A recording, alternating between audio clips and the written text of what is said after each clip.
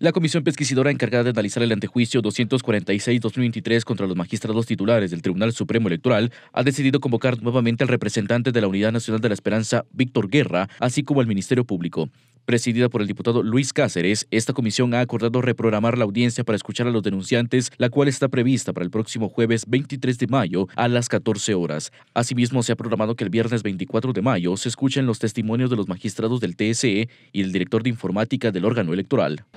y como teníamos también la disponibilidad inicial de laborar eh, dos días de la semana siguiente, me permito proponer en ese orden de ideas y en ese orden de actores que el diputado de la Rosa ha indicado, que pudiéramos atender la ratificación de la denuncia y la comparecencia de fiscal nacional e informático de la parte denunciante y al Ministerio Público el día jueves, al eh, director de informática del Tribunal Supremo Electoral también el día jueves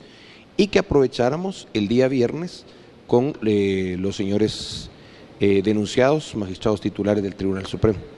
Cabe recordar que la semana anterior fueron citadas ambas partes denunciantes. Sin embargo, Víctor Guerra, exsecretario en funciones de la UNE, no acudió para ratificar la denuncia sin manifestar los motivos. De igual forma, los fiscales de la Fiscalía Especial contra la Impunidad FESI del Ministerio Público no acudieron con el argumento que su integridad física estaba en peligro. De acuerdo con el expediente 246-2023, la petición de retiro de inmunidad a los magistrados titulares del TSE se debe a un posible fraude durante la segunda vuelta electoral celebrada el año pasado y donde competían los candidatos presidenciales de los partidos UNE y Movimiento Semilla. Las presuntas ilegalidades son por las actas con el mismo número de mesa y el recuento de votos acelerado, entre otras supuestas anomalías.